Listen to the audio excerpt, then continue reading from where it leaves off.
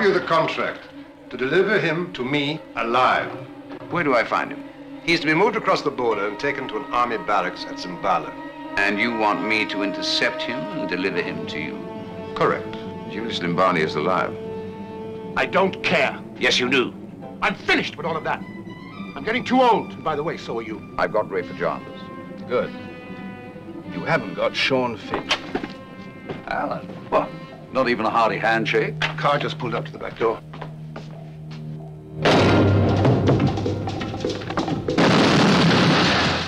Shawn. Shawn Fynn. How are you, Pieter? Why would you be looking for me? With Tiger. Age 42, sir. 12 years in the Black Watch, rank of sergeant. Blake, Jesse. Donaldson, sir. Witty, Arthur, sir, age 43, medical orderly. The countdown has started for the Wild Geese, 50 steel-hard mercenaries.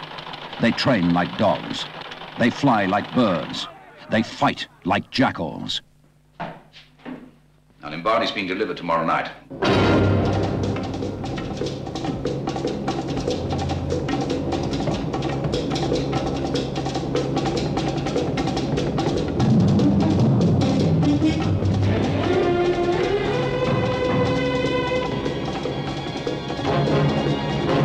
Wild Geese. Fighting is their business. Killing is their trade. Their mission, to save the life of the president of a new African nation. Sit still, right where you are. Don't move. Everybody okay? Find Captain Johns. If he's set, tell him to send Lieutenant Fynn to take the airport.